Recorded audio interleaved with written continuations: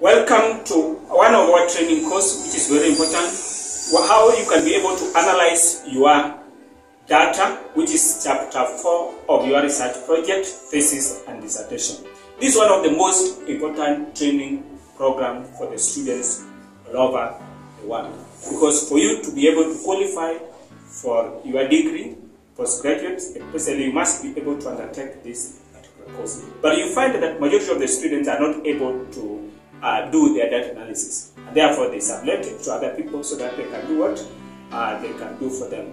On the other hand, there has been a big gap in the field where you realize that um, uh, students are not prepared well on how they can be able to analyze their data.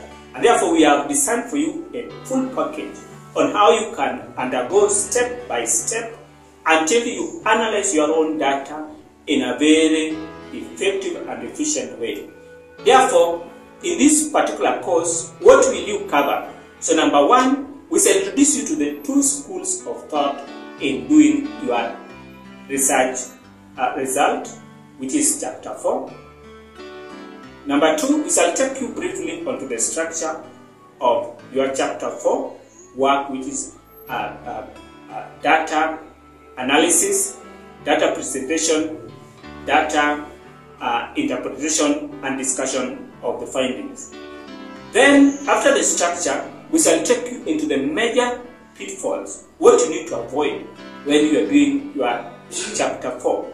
And after that, we shall also take you through briefly how to perform data cleanup because currently we are using technology to collect data. Now, when data is collected using technology, normally have associated a lot of errors. And remember, when you analyze data with errors, definitely your data will not be able to converge to some level of significance. And you know how is it very bad in that case. Therefore, we must enhance our data quality. And before we take our instrument to the field to collect data, we shall take it through what we call pilot test in order to enhance the level of accuracy of our instrument.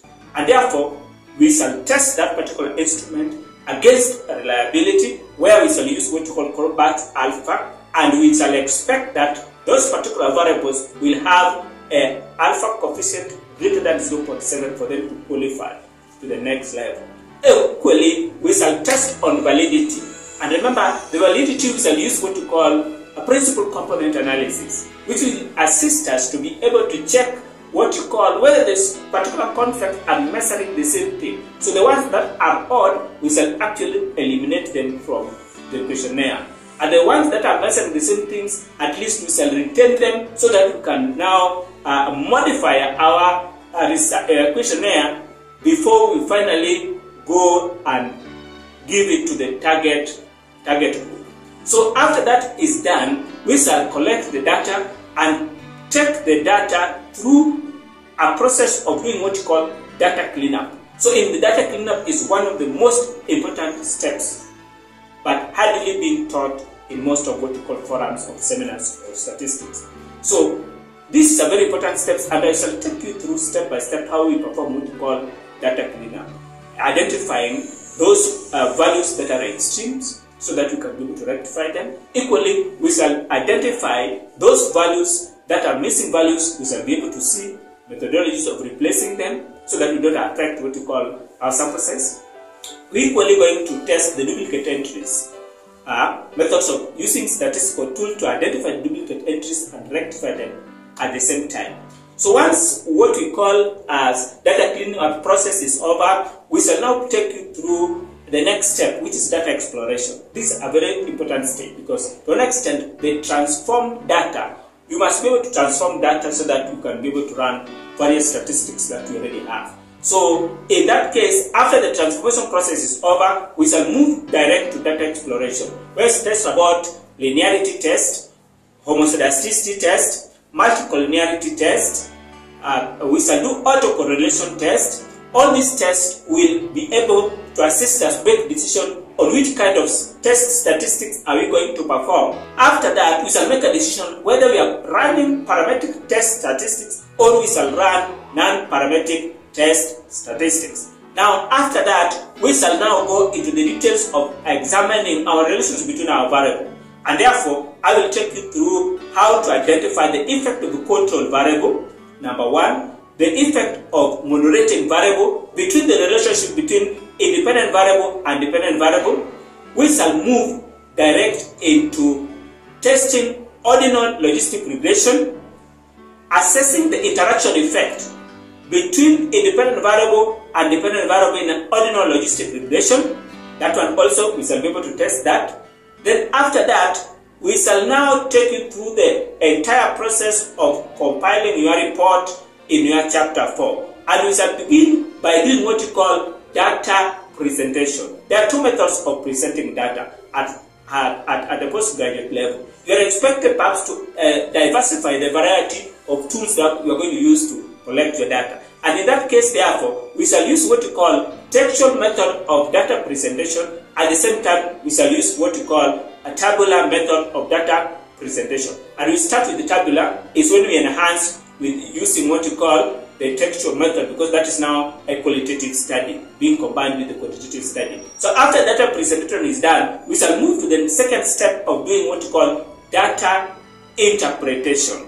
And when we talk about data interpretation, we are simply linking every result that we have found in the, our output in our uh, uh, tools that we are going to use to analyze data with the research problem, which simply means the analysis is supposed to answer, is supposed to support the research problem. Therefore, we shall do that during conducting every variable when performing data interpretation. And once the interpretation is done, we shall take it now to the next level where we are doing discussions of key findings. Now, in the discussion of key findings, the result we got must be matched in terms of your chapter 2, which is literature review. We need to link the result with the, the content of literature review. Now, in that perspective, therefore, we shall be able now to uh, discuss the findings broadly in reference to con, um, convergence, co coherence, and divergence. So, with regard to other authors, what they found out, we are linking with our findings here. And that's what's going to compose in our discussion of the key finding. After that, we just present the summary of the report, and that's the, the content of this particular course. So, this course is simply meant to assist the students